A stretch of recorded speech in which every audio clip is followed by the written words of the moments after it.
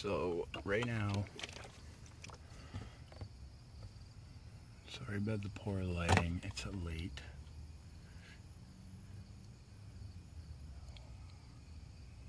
We're trying the upper engine cleaner inside the cylinders. It's the piston ring issue that we're going to try and fix next. If this doesn't work, possibly going to source a new engine, but I'll show you guys how this is done. So, you fill this upper compartment, it's an ounce, an ounce for each cylinder. Obviously six cylinders, six ounces. I'm on the third cylinder. I started the video a little late, sorry. So, my little homemade funnel. Hold that there. And just pour the ounce into the cylinder.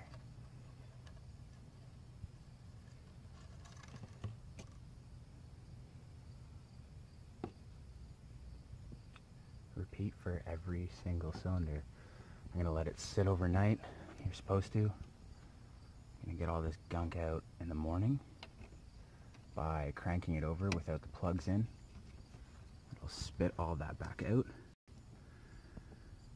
And I'll take a video of all of that too as well. Alright, so every cylinder has been filled with an ounce of the upper engine cleaner. Now what I'm going to do is put the plugs back in, let it sit overnight with the plugs in it. First thing in the morning when I wake up, I'm going to come out, take the plugs out, and crank it over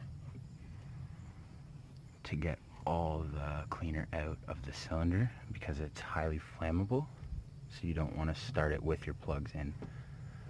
I'm trying to get it's kind of hard to see down in there.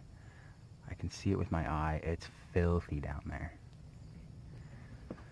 So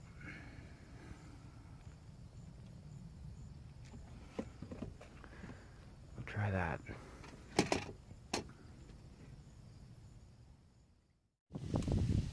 Alright, so back here in the morning and pull the plugs out again and then crank it over from the inside like four or five times with the plugs out.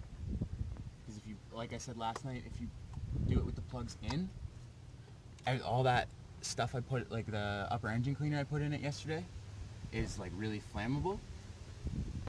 So if you start it with the plug in and that spark goes with the flammable material in it, what's gonna happen? Boom! You don't want that to happen, right? So we're pulling the plug out before we start it. I let the plug sit in the upper engine cleaner yesterday to also try and seal the air and clean the plug up a bit too.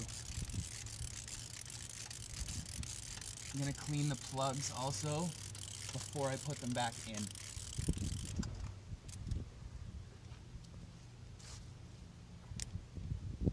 These are brand new.